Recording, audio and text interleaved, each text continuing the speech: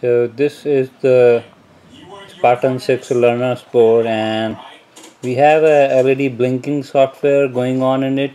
Basically we wanted to see that the the crystal the oscillator is mounted here. It's a 50 megahertz oscillator mounted here. Does it is it working properly or not? And for this a quick way to test this uh, you know, oscillator is to write a software a Verilog code to check the LED blinking so I have this software here on my computer. Uh, it's a very simple uh, piece of code. You can see we have um, a, a, a, counter. That's a 32 bit counter. And as soon as its 26th uh, bit is goes high in the the LED is assigned the value of the state.